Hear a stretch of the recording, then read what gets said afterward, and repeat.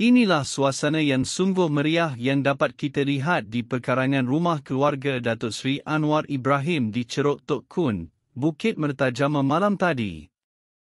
Rakyat berpusu-pusu memenuhi halaman rumah itu untuk menyambut anak kelahiran kampung itu yang telah diangkat menjadi Perdana Menteri Malaysia. Mereka berebut-rebut untuk bersalaman dan mengucap tahniah kepada beliau.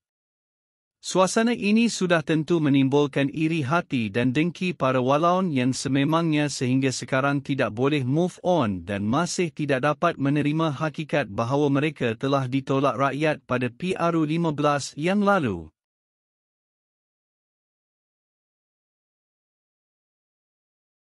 Anwar memang seorang pemimpin yang amat disenangi oleh rakyat kerana sifatnya yang sentiasa merendah diri, mesra, sopan dan peduli rakyat.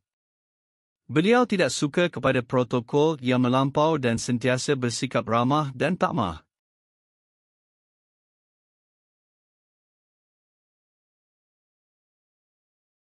Ini dapat kita lihat dalam video ini apabila beliau menegur hampir ke semua rakyat yang ditemuinya dan sentiasa melemparkan senyuman kepada sesiapa sahaja. Beliau disenangi oleh semua lapisan rakyat, hanya walaun sahaja yang tidak mengakuinya. Dalam ucapannya sebelum ini Anwar jelas terus komited ingin membantu mengurangkan bebanan rakyat dari segi kos kehidupan dan harga barang keperluan. Perdana Menteri Anwar Ibrahim berkata kerajaan sememangnya menumpukan usaha mencari penyelesaian bagi menurunkan harga bahan mentah. Beliau berkata ia termasuk memastikan pengeluaran mencukupi serta memberi dukungan kepada pengeluar domestik bagi produk telur, ayam dan sayuran. Anwar mengulas mengenai kenyataan bekas Perdana Menteri Ismail Sabri Yaakob yang menyeru kerajaan mencari jalan penyelesaian untuk menurunkan harga bahan mentah. Tidak apa kita dengarlah pandangan dia, Ismail Sabri. Saya pun mampu banding sebulan setengah menteri berkenaan yang bekerja, itu kalau saya bandingkan, saya boleh akui yang dilakukan sekarang lebih bersungguh-sungguh, katanya kepada pemberita selepas menghadiri majlis kenduri rakyat di kampung halamannya di Ceruk Tok Kun di Bukit Mertajam, Pulau Pinang malam tadi. Terdahulu, dalam ucapannya pada majlis itu, Anwar berkata dalam masa singkat sejak beliau dilantik sebagai Perdana Menteri, kehadiran pelabur antarabangsa dari Eropah, China dan Amerika Syarikat di Malaysia jauh lebih memberangsangkan dari tahun-tahun sebelum ini. Alhamdulillah dengan keyakinan ini, ringgit telah mengukur. Kalau mata wang kita jatuh, ini akan menyebabkan kos import tinggi dan meningkatkan harga barang. Apabila harga barang naik termasuk harga makanan, ini akan membebankan rakyat, katanya. Sementara itu, Perdana Menteri berkata belanjawan 2023 yang akan dibentangkan semula pada 24 Februari ini akan menyentuh sektor pendigitalan dan pertanian moden dalam usaha memastikan ekonomi negara kekal mampan. Anwar berkata beliau juga akan mempertimbangkan peruntukan yang lebih tinggi untuk Pulau Pinang, Sabah dan Sarawak yang disifatkan kurang mendapat perhatian sebelum ini. Walaupun Pulau Pinang merupakan penyumbang cukai terbesar untuk negara, beliau mengakui negeri ini sering dipinggirkan dari segi peruntukan belanjawan persekutuan. Itu dalam pertimbangan saya, Biarpun ada kekangan dari segi pendapatan dan perbelanjaan tetapi kita akan beri perhatian kerana ada kebenarannya Pulau Pinang dipinggirkan dari sudut peruntukan tetapi sama juga seperti bila saya ke Sabah dan Sarawak. Memang ada kekurangan besar kerana peruntukan untuk Pulau Pinang itu kepada infrastruktur besar tetapi Sabah dan Sarawak termasuk prasarana kecil, klinik, hospital, perumahan rakyat dan sekolah daif, katanya. Sebelum ini, media melaporkan Anwar mengumumkan bahawa belanjawan 2023 tidak akan terikat dengan belanjawan yang dibentangkan oleh kerajaan terdahulu iaitu pada Oktober 2022. Namun cadangan yang sudah dibuat dalam pelan belanjawan terdahulu akan tetap diambil kira dalam perangkaan belanjawan yang baru ini.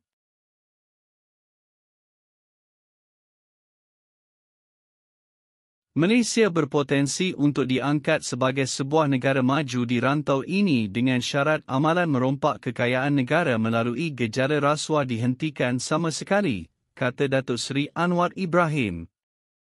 Perdana Menteri berkata pimpinan politik, penjawat awam peringkat tertinggi atau badan-badan penguatkuasaan mesti dan wajib menghentikan amalan berkenaan.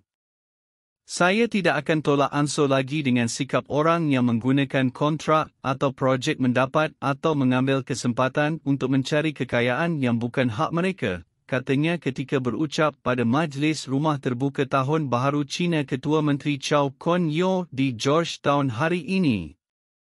Dalam pada itu Anwar berkata rakyat Malaysia mesti ada keberanian untuk menolak fahaman perkauman, rasuah dan penyalahgunaan kuasa. Beliau yakin negara akan dapat mencatat tahap kemajuan dalam masa singkat yang belum pernah disaksikan sebelum ini sekiranya wujud semangat perpaduan yang utuh dalam kalangan rakyat untuk menolak gejala buruk berkenaan. Anwar berkata persaingan atas kepentingan kaum dan agama hanya akan menanam kebencian dalam kalangan masyarakat. Slogan masyarakat madani menuntut keyakinan kita sebagai rakyat. Semua agama ada kepercayaan mereka, tetapi untuk hidup dalam masyarakat mesti ada faham kemanusiaan, dan kemanusiaan itu tiada makna jika tiada kasih sayang antara kita. Bila ada persaingan kaum dan agama yang sempit, maka yang ditanam itu adalah kebencian. Kita perlu terima perbezaan kita sebagai satu kekuatan, katanya. Menyentuh mengenai amalan, komisen dan sedekah dalam pilihan raya, Anwar berkata amalan itu jelas boleh merugikan negara dan masyarakat. Sedekah untuk amal jariah itu okey, tetapi sedekah untuk undi pada pilihan raya itu adalah korupsi, katanya. Sementara itu, Anwar memuji kerajaan negeri Pulau Pinang kerana memusatkan pembangunan ekonomi negeri itu seiring dengan keadilan sosial dengan mengambil kira golongan miskin bandar dan B40. Turut hadir pada majlis itu yang dipertua negeri, Tun Ahmad Fuzi Abdul Razak dan Ketua Menteri, Chow Kon Yo.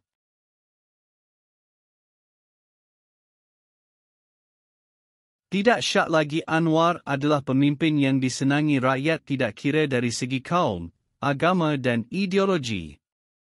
Jelas terpancar kegembiraan di wajah rakyat yang menyambutnya bermula dari siang hari hingga ke sebelah malam. Insya Allah rakyat akan terus mendukung kerajaan perpaduan ini walaupun apapun tomahan, fitnah dan cercaan yang dihamburkan oleh walaun dan pembangkang lain.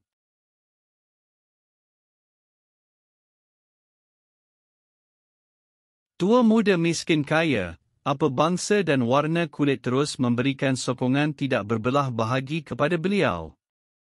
Kita yakin Malaysia akan terus maju dan makmur di bawah kepimpinan beliau yang jelas telus, amanah, komited dan jujur dalam menjalankan tugas dan tanggungjawab.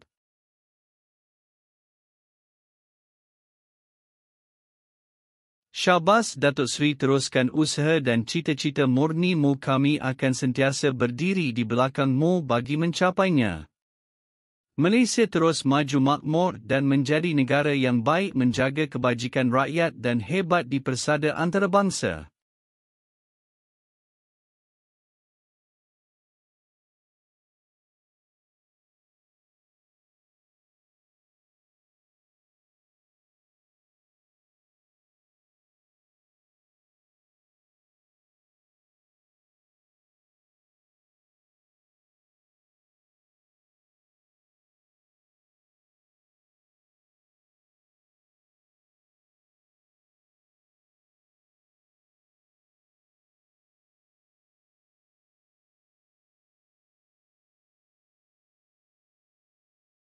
Parti Amanah Negara Kawasan Hang Tuah Jaya akan membantu kempen pilihan raya negeri di Selangor, Pulau Pinang, Negeri Sembilan, Kedah, Terengganu dan Kelantan.